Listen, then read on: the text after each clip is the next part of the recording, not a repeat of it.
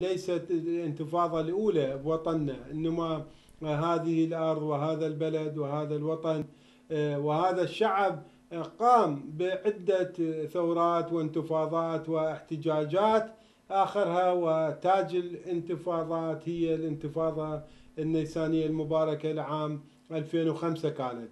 آه، طبعا منذ يوم اللي وقعنا ودخلنا في هذا النفق آه، المظلم آه، بمجيء القوات الغازية لرضا بهلوي عام 1925 لحد اليوم الحركات والانتفاضات والاحتجاجات مستمرة. والآن يعني كبداية حتى نقدر أقدر أستمر بالحديث وأقدم لكم الكثير بداية أطلب من الأخ المخرج يخلينا صورة رقم واحد اللي هي لرضا بهلوي عندما دخل عن طريق ده ملة أو قرية الملة أي ما يسمى الآن بهنديان.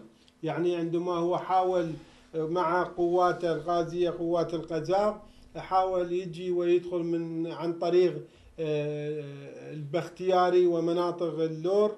والبختياريين لكن بسبب الموقف الأخوي للبختياريين وتصديهم لقوات القزاق والمعركة اللي صارت بمنطقة منجبيل وأعتقد هيك اسمها والقتلى اللي تكبدت بها القوات الغزاقية الرضا شاهية ما قدروا يتقدمون من هذا الجانب. وهناك كانت أواصر أخوة واتحاد ما بين البختياريين خوانين البختياريين والشيخ خزعل ورضا شالف وإجا عن طريق ميناء أبو شاه شيراز ثم سيرجان ثم ميناء أبو شهر ومن ثم دخل إلى منطقة هنديان و من هناك تسلل إلى الأهواز المدينة ووصل هو وقواته ضمن خطة اللي حاكوها وبرموها إلى الإنجليز ذاك الوقت. فهذه الصورة رقم واحد ورقم اثنين. الثانية أيضا هي تراوي هذه القوات اللي دخلت إلى أراضينا. ومن ثم بعد ما وصلوا واطمنوا من وصولهم وشافوا الخطة البريطانية ذاك الوقت نجحت فهناك جنود هاي الصورة رقم ثلاثة اللي قاعد تشوفونها على الشاشة.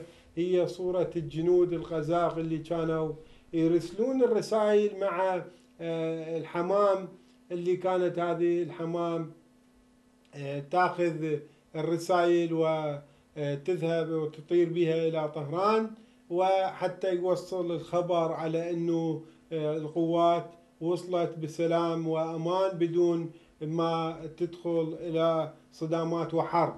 لأن حقيقة هي كانت خدعة والآن بالصورة رقم أربعة.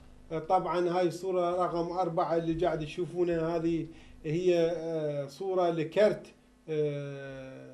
كرت تبريك اللي بمدينة المحمرة. هذه تشوفونها مدينة المحمرة عام 1919 على ضفاف نهر كارون وشط العرب اللي قاعد تشوفون هذه المدينة وخاصة قصر الشيخ الأمير راحل الشيخ خزعل اللي تشوفون هاي المدينة 1919 اللي كانت حتى بها مكاين تضيء بالليل الكهرباء تولد الكهرباء. وكانت عروس الشرق الأوسط هذه المدينة اللي جاءوا أهل الحقد وبنوا شيء كذب وافتراء وأسسوا إلى حركة شوفينية غير إنسانية وبدلوا اسم هذه المدينة الجميلة إلى خرمشاه ومن ذاك اليوم لحد اليوم لا أهل هذه المدينة ولا هذه المدينة شافوا الخير والأمان إنما بس الدمار والجوع والظلم والاضطهاد لحق بها. هذه الصورة لمدينة المحمرة. طبعا نرجع إلى رضا بهلوي. رضا بهلوي قلت لكم بعد ما دخل بخديعة اللي برموها الانجريز ذاك الوقت وتعهداته اللي تنصل من تشوفون هاي الصورة رقم خمسة.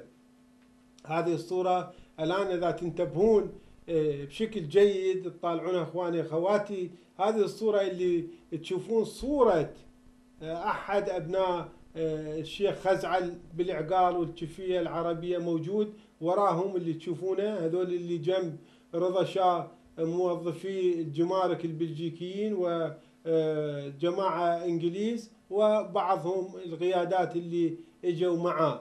هذه صورة الشيخ لابن الشيخ خزعل مع هذه المجموعة.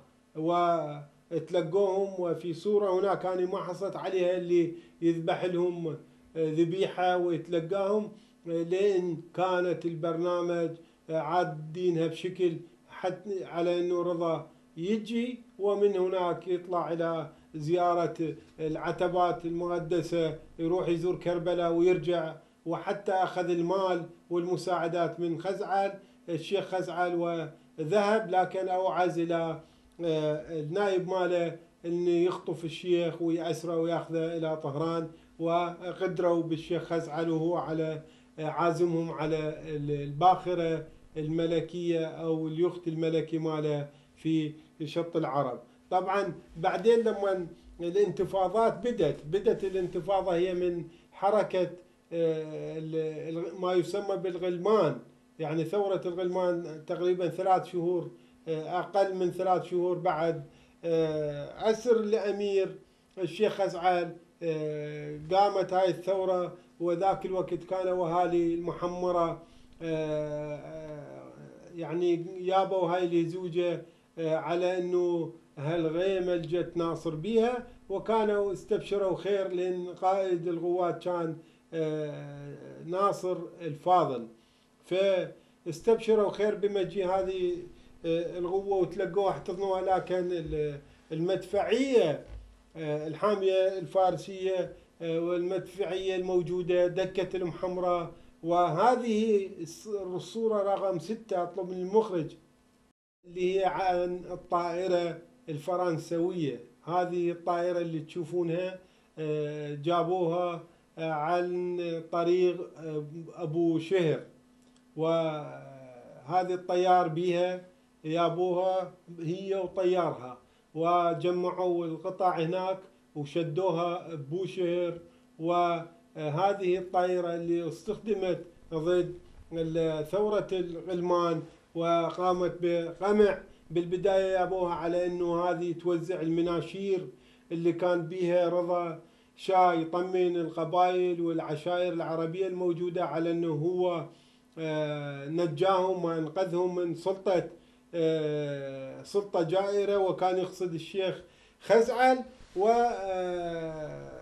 آه، يوعدهم بالحقوق المتساوية والاحترام وأعطاهم حريتهم واحترام خصوصيتهم وبنفس الوقت ينشرون كانوا مناشير عن تسيء إلى الشيخ خزعل عن قضايا فساد وشغلات غير أخلاقية حتى ينزعون مكانته ما بين جماهيره ويفقدونه من جماهيره ومن شعبه. لذلك هذه الطائرة بالبداية كانت تقوم بتوزيع المناشير والكتب أو الأوراق المطبوعة بالأحرى نقول على المناطق العربية في الإقليم ومن ثم استخدموها رمي القنابل وقمع السكان وضربهم. هذه صورة صورة الطائرة الفرنسوية اللي استخدموها آنذاك. فبعدها إجت حركات أخرى وثورات كثيرة و يعني ممكن ما أقدر أعددها لأن بشكل عام هي أكثر من 15 ثورة وانتفاضة قام بها شعبنا آه، ضد آه، التعدي على حقوقه وسيادته وأرضه ومصادرة أمواله ومصادرة آه، حريته بشكل عام.